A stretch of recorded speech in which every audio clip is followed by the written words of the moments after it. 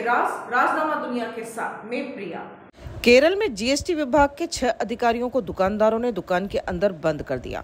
वे tax चोरी के मामले में छापेमारी करने गए थे। जानकारी मिलते ही पुलिस मौके पर पहुँची और अधिकारियों को दुकान से निकाला। दुकानदारों का कहना है कि उन्होंने या उनके साथियों ने किसी अधिकारी को दुकान में बंद नहीं किया। कुछ दुकानें ज़रूर बंद की गई थी, क्योंकि हमें नमाज़ पढ़ने मस्जिद जाना था।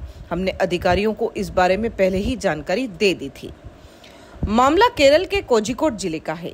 शुक्रवार को जीएसटी विभाग की 50 सदस्यों की टीम एक मार्केट में छापेमारी के लिए पहुँची थी। एसएम स्ट्रीट, तिरुवन्नूर और स्पेस मॉल में स्थित करीब 25 दुकानों में छापेमारी करनी थी। मार्केट में जीएसटी के अधिकारियों को देखते ही दुकानदार विरोध करने लगे। हालाँकि अधिकारियों ने किसी तरह उन्हें समझाया और छापेमारी शुरू की। इस दौरान कुछ दुकानदारों ने छह अधिकारियों को एक दुकान में बंद कर दिया। लेकिन पुलिस मौके पर पहुँच गई और अधिकारियों को बाहर निकाला। जीएसटी विभाग की टीम जिन 25 दुकानों में छापेमारी करने पहुँची थी, ये दो लोगों के पार्टनरशिप में थी, जिनमें से एक जेल में है। टीम को इनपुट मिले थे कि इन दुकानों के मालिकों ने 27 करोड़ की टैक्स चोरी की है। इसके बाद टीम ने ये छापेमारी अभियान शुरू किया। ऐसे ही बने रहिए राजनामा दुनिया के साथ। धन्यवाद।